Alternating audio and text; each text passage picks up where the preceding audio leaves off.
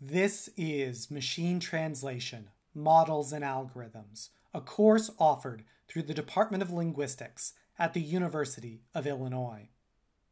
We will now examine your responsibilities with respect to academic integrity. This course follows the University of Illinois Student Code regarding academic integrity.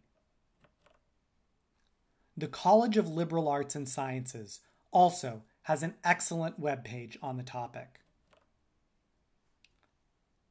These documents, along with the course syllabus, are your first required reading assignments for this course.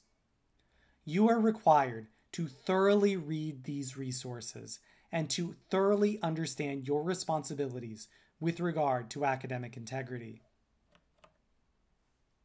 You are responsible for this content, and you may be tested on it. All work submitted for this class must be solely your own. Violations of academic integrity include, but are not limited to, copying, cheating, and unapproved collaboration.